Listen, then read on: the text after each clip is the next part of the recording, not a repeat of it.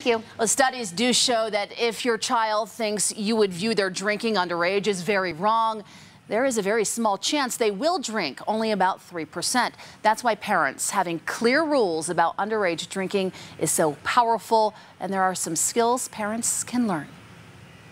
Let's dive in here. Let's talk about some of those skills. What has research shown works for parents?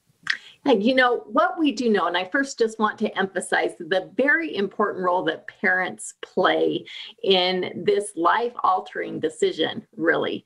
Um, and what we know is that when we ask kids, what is the number one reason that they choose not to drink alcohol, that they very clearly say that their parents are the number one reason you know, Heidi, how do you go about having that conversation with your children? Should it be a sit down formal meeting or would you suggest just little hints, little reminders consistently? Yeah, absolutely. The reminders. And Kelly, what you're saying ties in really great to the next really important skill that parents need and that is to create this sense of bonding with their child, a warm relationship.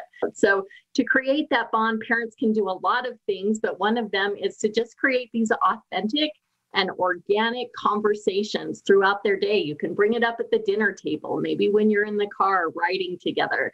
Um, to, to talk to them about underage drinking, some of the harms that are associated, and maybe even troubleshoot and role play situations with them were they asked um, to take alcohol how they would deal with that situation or or what is scary to them and and so that they know that they have an ally in their parent in handling some of those uncomfortable situations and I get it. Those are tough situations, not only for your child in that situation, but as the parent to intervene and take them home. And, and I think sometimes the first initial reaction from a parent is, Why are you hanging out with them? You said the parents were going to be home and then they were, and all this is happening, right? To, to get upset, anxious, worried. Is that the correct tactic? Of course, you want to keep them safe, but there are underlying, you know, conditions and conversations that need to be had here. Yeah, you know, Kelly, as a parent, I can relate to what you're saying, that worry and concern that that sometimes comes out as frustration. But I want to contrast what you just said with maybe a parent that has gone into this issue prepared, right? That they've had those conversations with their child.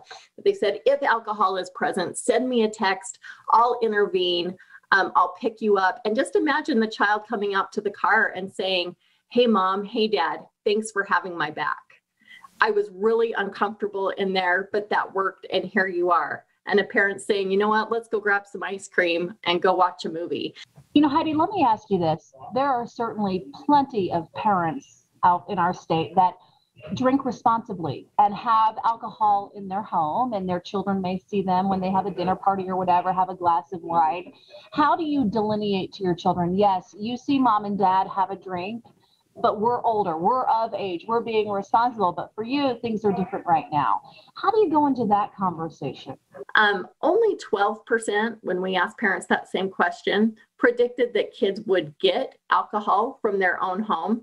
The reality of that is 59% are getting their alcohol from home or somebody else's home without any uh, parental permission. What's even more alarming is that 44% of Utah kids who drink get their alcohol at home with their parents' permission.